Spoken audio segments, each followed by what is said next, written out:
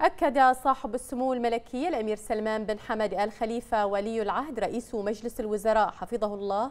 أن ما تحقق في ظل المسيرة التنموية الشاملة لحضرة صاحب الجلالة الملك حمد بن عيسى آل خليفة عاهل البلاد المفدى حافظه الله ورعاه من منجزات ونجاحات متواصلة تتطلب مواصلة الجهود الوطنية بروح الفريق الواحد لدعم استمرارية التطوير المعزز للانفتاح والنمو بما يرفد مساعي التنمية. 감사합니다. وأشار سموه إلى أن تعزيز التعاون بين مجلسي النواب والشورى والمؤسسات الإقليمية والدولية في المجال التشريعي يسهم في دعم المسيرة البرلمانية الوطنية ويعزز مقومات البنية التشريعية. جاء ذلك لدى لقاء سموه حفظه الله في قصر الرفاع اليوم مع السيد دوارتي باتشيكو رئيس الاتحاد البرلماني الدولي بحضور سمو الشيخ عيسى بن سلمان بن حمد الخليفة رئيس الهيئة العليا لنادي راشد للفروسية وسباق الخيل حيث رحب سموه برئيس الاتحاد البرلماني الدولي منوها بالجهود التي يطلع بها الاتحاد البرلماني الدولي لتعزيز العمل التشريعي